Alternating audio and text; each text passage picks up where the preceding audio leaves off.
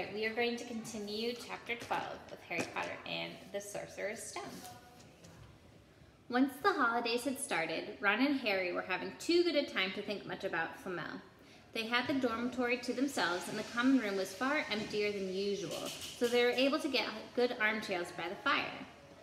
They sat by the hour eating anything they could spear on a toasting fork bread, crumpets, marshmallows, and plotting ways of getting Malfoy expelled, which were fun to talk about even if they wouldn't work. Ron also started teaching Harry wizard chess.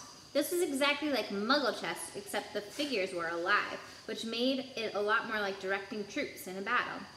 Ron's set was very old and battered. Like everything else he owned, it had once belonged to somebody else in his family. In this case, his grandfather. However, old chessmen weren't a drawback at all. Ron knew them so well, he never had trouble getting them to go where he wanted. Here's a couple pieces here. Harry played with the chessman, uh, played chessman with Seamus Finnigan at lent him, and they didn't trust him at all.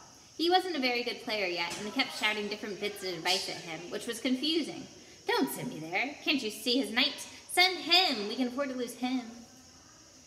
On Christmas Eve, Harry went to bed looking forward to the next day for the food and the fun, but not expecting any presents at all. When he had woke early the next morning, however, the first thing he found was a small pile of packages at the foot of his bed. Happy Christmas, said Ron sleepily, as Harry scrambled out of bed and pulled on his dressing gown. You too, said Harry. Will you look at this? I've got some presents. What did you expect, turnips? said Ron, turning at his own pile, which was a lot bigger than Harry's. Harry picked up the top parcel. It was wrapped in a thick brown paper and scrawled across it, to Harry, from Hagrid.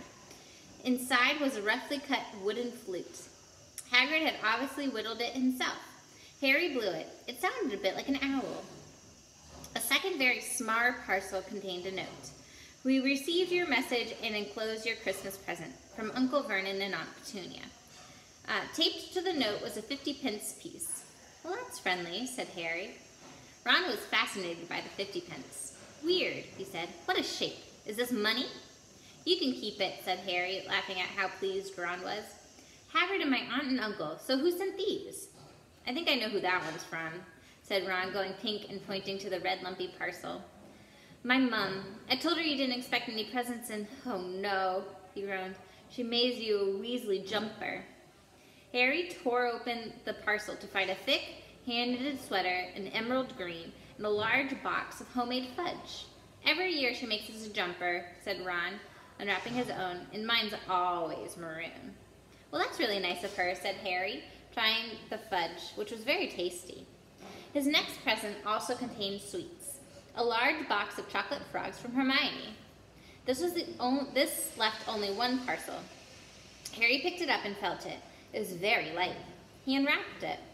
Something very fluid and silvery gray uh, went slithering to the floor, where it laid in gleaming folds. Ron gasped. I've heard of those, he said in a hushed voice, dropping every box of every flavor beans he got from Hermione. If that's what I think it is, they're very rare and very valuable. What is it? Harry picked the shining silvery cloth off the floor. It was strange to the touch, like water woven into material. It's an invisibility cloak, said Ron. I'm sure it is. Try it on. Harry threw the cloak around his shoulder, and Ron gave a yell. It is! Look down! Harry looked down at his feet, but they had gone.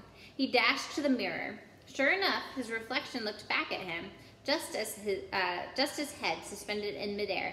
His body was completely invisible. He pulled the cloak over his head, and his reflection vanished completely. There's a note, said Ron suddenly. A note fell out of it. Harry pulled off the cloak and seized the letter. Written in narrow, loopy writing he had never seen before were the following words. Your father left this in my possession before he died. It is time it was returned to you. Use it very well. A very Merry Christmas to you. There was no signature. Harry stared at the note. Ron was admiring the cloak. I'd give anything for one of these, he said. Anything. What's the matter? Nothing, said Harry. He felt very strange. Who had sent the cloak? Had it really once belonged to his father? Before he could say or think anything else, the dormitory door was flung open and Fred and George bounded in.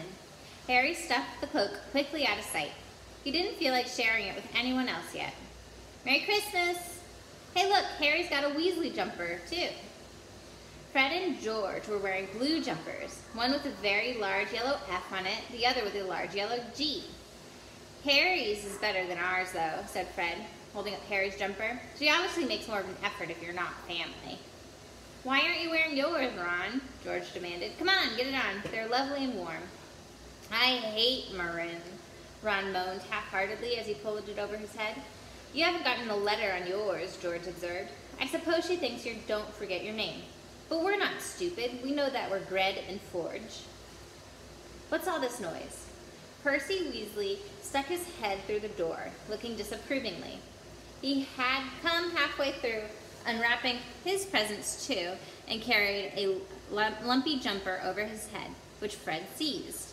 P for prefect. Get it on, Percy. Come on. We're all wearing ours. Even Harry has one. I don't want, Percy said thickly, as the twins forced the jumper over his head and knocking his glasses askew. If you're not sitting with the prefects today either, said George. Christmas is for family. They frog marched Percy from the room, his arms pinned by, by his sides to his jumper. Here are a couple more chess pieces. All right, we will stop there and then continue.